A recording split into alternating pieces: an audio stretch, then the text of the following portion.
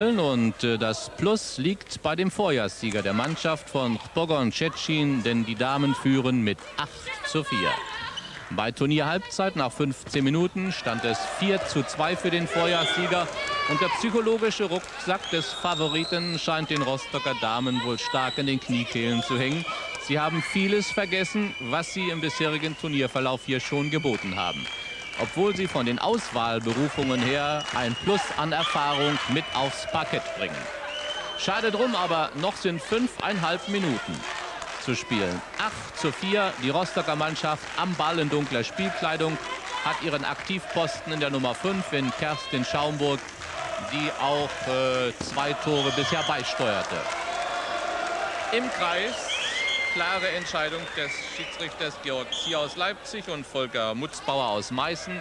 Zwei junge Männer der Schwarzen Garde zum zweiten Jahr praktisch im Oberligahaus. Aber sie haben hier ihre Sache während der beiden Turniertage in Rostock recht gut gemacht, wenn ich mir diese Bemerkung gleich einmal gestatten darf. 8 zu 4, Angriff der polnischen Mannschaft, die eine größere Dynamik und viel mehr Unternehmungsgeist in die Waagschale wirft als es die Rostocker in diesem Spiel tun. Zwölfmal hieß in der Geschichte dieses Turniers der Sieger bei den Frauen SCM vor. Vielleicht will man an die 13 nicht heran. Aber so wie ich die Schützlinge von Bode Wieland kenne, sind sie überhaupt nicht abergläubisch.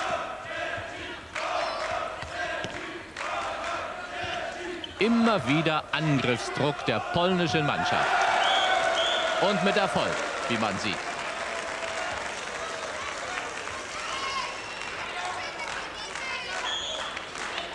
Das 4 zu 9, also den neunten Treffer für Pogocecin erzielt mit der Nummer 9 Emilia Alpsnin. Torhüterwechsel beim SC Rostock für Bärbel Suko mit der Nummer 16, nun mit der Nummer 1 Petra Dreves. Sie haben den Hallensprecher sicher gut verstanden. Die Petra Drews werden wir beim nächsten Angriff sicher ins Blickfeld bekommen. Jetzt gibt es erst einmal, da haben wir sie. Jetzt haben wir erst einmal den 7 Meter und Kerstin Schaumburg tritt an. Der fünfte Treffer der Rostock.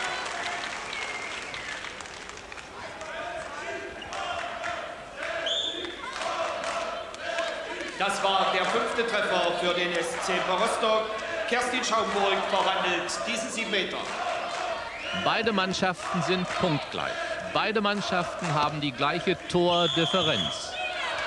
Bei einem Unentschieden würde sich auch die Waage zugunsten der Mannschaft von Tschetschin neigen, denn sie hätte dann die größere, die höhere Plustorzahl. So ist das Reglement. Also nur ein Sieg bringt den Rostockern auch den Pokalgewinn. Drei Minuten noch. Hm, der saß. Ein herrlicher Wurf. Sechs, sieben Mal hat sie bereits Maß genommen. Das war das 6 zu 9. Torschütze mit der Nummer 6, Rosita Potrek. Ja, und das Gesicht von Bodo Wieland, den sie eben neben Rosita Potrek im Bild hatten, war ja nun auch nicht gerade sehr optimistisch, obwohl in zweieinhalb Minuten doch im Handball noch allerhand passieren kann.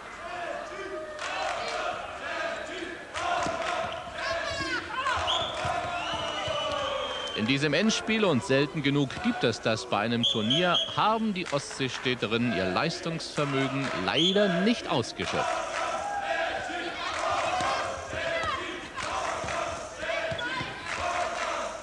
Pogon Cecin macht einen guten Eindruck.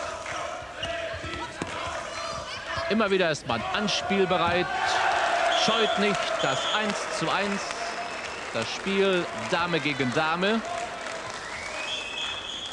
und mit Erfolg.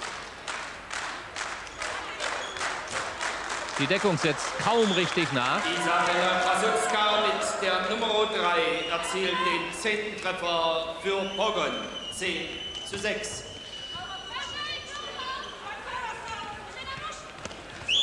Damit scheinen sich die Fronten wohl leicht geklärt zu haben. Die erste Herausstellung gegen die Nummer 7, gegen Boschina SC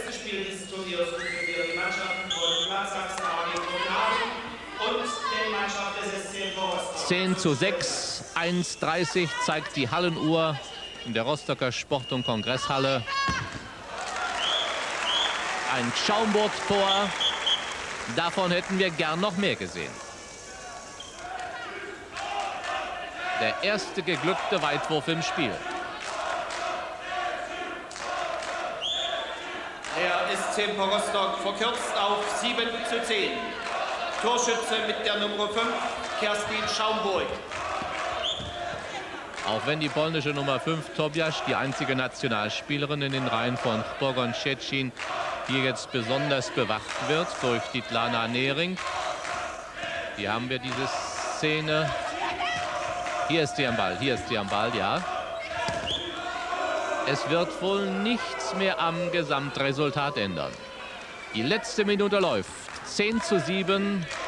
Und damit steht wohl schon fest, dass die Mannschaft von Bogon Szczecin das Turnier erneut gewinnt und ungeschlagen. Die Rostocker Damen werden Platz 2 belegen, die Mannschaft aus Kochschow Platz 3 und Gottwaldow auf Rang 4. Britt Langhoff versucht sich. Mehr war es leider nicht. Und nun kann man die letzten Sekunden in Ruhe ausspielen.